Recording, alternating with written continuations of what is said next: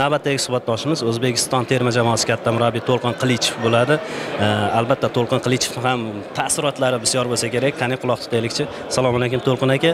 Alaykum assalom bu galgi osiyo chempionati ham muvaffaqiyatli tarzda yakunlandi. Albatta buni zamirida ulkan mehnat yotibdi to'g'rimi?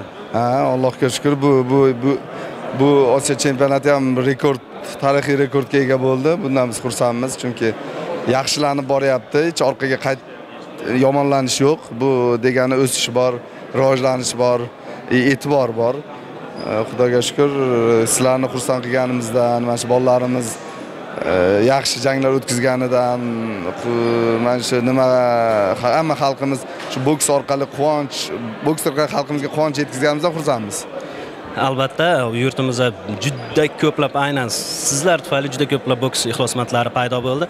Bu e, osiyo chempionati ikki xil taassurot uyg'otdi. Ya'ni kutilgan va kutilmagan natijalari ham bo'ldida. Misol uchun e, abdumalik halakov bilan e, mirazbek mirzahalilovdan oltin medal kutilgandi. Endi muxlislar nuqtai nazaridan said jamshiddan esa bunday natija kutilmagandi. Bu borada qanday fikrlarni ayta olasiz? Endi bizda unday desak noto'g'ri bo'ladi. Nimada? Bu boks. Masalan biz trener sifatida bilamiz.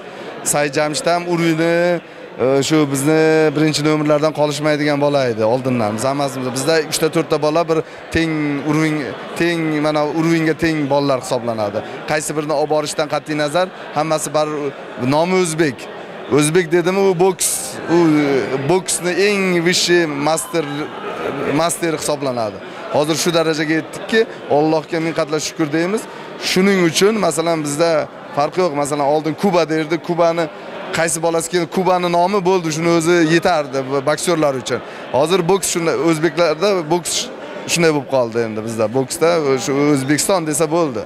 Shuning uchun said jamshidni kuchli kuchlilarni nima qilishi? Yutishi. Mana shu birinchi katta musobaqalardan birida yutishi bu juda katta motivatsiya o'zi uchun ham и katta psixologik tayyorligidan ma'lum hisob ma'lum e, ligi.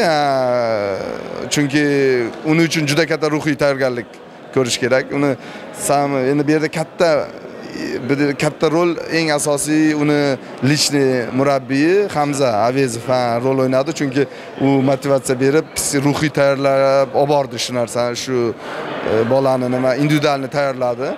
Shuning uchun mana shu natijalarga erishdi. Abdumalikka keladigan bo'lsak endi uni raqibi ham prostoy bola emas oddiy bola emas. U ham jahon chempionati sovrindori osiyo o'yinlari g'olibi. Shuning uchun bu yerda ellikka ellik edi baribir nima? Miraziz miraziz u bir kalla yutdi. Endi boksda bunaqa человеческий faktorlar bo'lib turadi. Uch ikki shunday teng kuchda ketib qoldi yutgani ketib qoldi degan narsa. Endi nima deymiz bu boks ekan bu ham yaxshilikka. Keyingi safar bir kalla emas ikki kalla yutishga harakat qiladi. Shu. Rahmat o'ylaymizki olimpiadada ham ulkan natija ko'rsatib barcha barchani xursand qilasizlar degan umiddamiz. Rahmat. Rahmat. Sog' bo'ling